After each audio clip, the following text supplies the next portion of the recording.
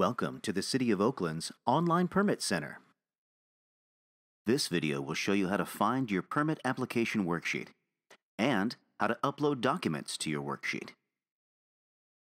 On the login page, please enter your username or email and your password. Then click Login. Now that you're logged in, click on the My Records button.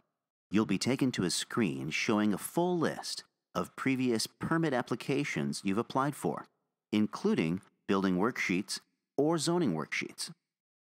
In the record number column, click on the worksheet to which you'd like to upload new documents. On the record overview page for your worksheet, click on Record Info. Then from the pull-down list, click on Attachments. To attach any related applications, documents, or plans to your record, please click the Add button. A pop-up window will appear. Click the Add button to open a file window on your computer where you can select the documents you'd like to attach.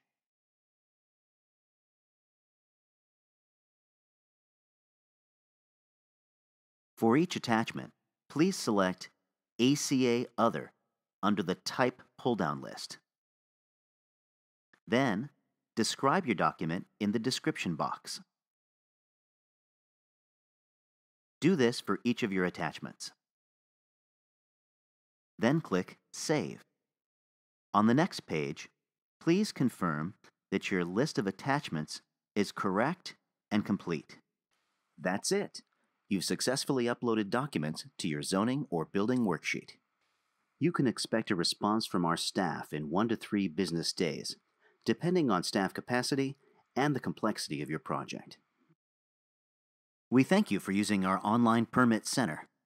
Together, we're building a stronger, more livable Oakland.